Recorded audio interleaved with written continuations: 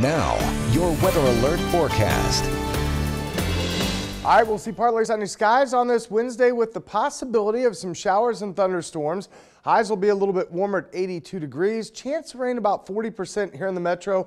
Otherwise, south to southeast winds stay light at about 5 to 15.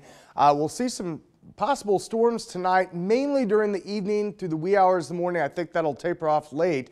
And again, lows will stay mild at about 64.